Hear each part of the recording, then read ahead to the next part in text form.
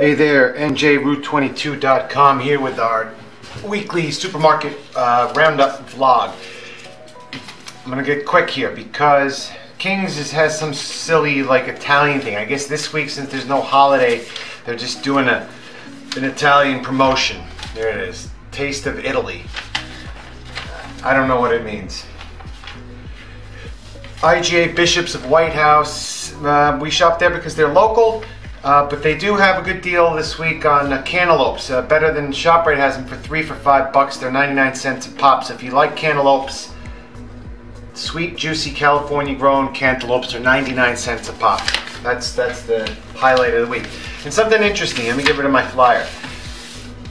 The uh, the ShopRite flyers you get in the mail or in your paper or whatever have coupons on them, and you can see it. It's like circular number 497, it says here.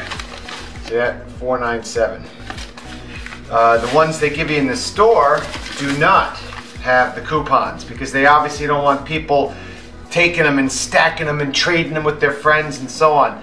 Uh, and you can see there's a 497S there. Look, the bad thing on my finger went away finally. I busted my finger uh, many months ago, and it, I had a big bruise and it's gone forever. So now my uh, identifying mark has been uh, eliminated. But anyway, real quickly, I mean, I, I, don't know why I do this every week because you know you save a couple bucks here and there. The real savings comes for those people who do the couponing and they, they, they have coupon clubs and they get the Sunday paper for a dollar or whatever it costs these days. And they double coupon this and that and it, they spend probably like 10, 20 hours to save you know an extra $20. or whatever, it, it's a fun thing to do. But I'm going to talk real quick about uh, chicken See, they have a sale this week. It's 88 cents uh, for chicken thighs, which is a really good sale. And I'm not sure who makes it, if it's just a store brand or Perdue. The thing is, I don't understand why everybody doesn't buy the skin on, bone in chicken. Because if you go look here, here's this crappy Tyson brand. The Tyson brand, um, when it's skinless, it's like more than twice as much per pound. I mean, why don't you just take the skin off? It's it's the, the chicken isn't made 50% of skin, so you maybe 10% of the weight is, is skin. You're just better off just cooking it, and it adds more flavor to the to the chicken than when I don't know. I don't know why people do it. Same thing with boneless.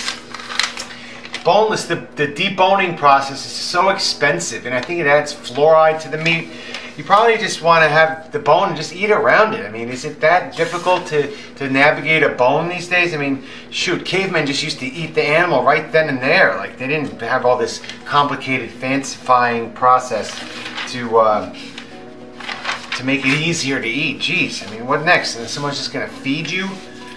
Who knows? Anyway, I think that's. Oh, I, I just wanted to let you know. I tried the the Shoprite suit. This isn't the ad for it, but they had this new uh, fried chicken. It was all right. I mean, I guess it tasted a little bit better, but I think it, the chicken seemed to be a little bit less substantial. I don't know. They did something, but the taste is good. The taste is very good. Um, they got the Piazza Mutz again on sale for $1.99. It's a good thing to have. Same thing with the Jimmy Dean uh, bacon, which is it works out to about $3.99 a pound. And here's something for people. I mean, I don't care if you have a family and you're trying to make ends meet. These Encore products, they're the worst. It's worse than cafeteria food. It has it's loaded with preservatives and artificial ingredients, and it's just fake. It's fake food. Don't don't, don't do it. Figure out a better way. Again, we X out all the junk. I mean, it's such junk, most of the packaged food, and I hate to be so strong-minded about it, but it's the truth. Um, what else do we have here? Oh yeah, the best organic eggs that ShopRite sells are the Pete and Gerry Pete and Gerry's organic eggs. They, they were rated the highest by the Cornucopia Institute. I mean, out of what ShopRite sells. I mean, I still buy them locally. If you find a farm or some somebody that raises chickens in their backyard, you're better off doing that. Seriously. And we have a sick dog, so they like the uh, the organic pumpkin. That that uh, makes uh, life easier for their stomach and their poop. And I think that's all I have this week. It's a quick uh, I'll do my typical uh, PSA here. I mean, the uh, the Nature's Bounty vitamins, they're okay. We've had good experience with them. Say no to the flu, flu shot, please. Just don't inject yourself with those chemicals.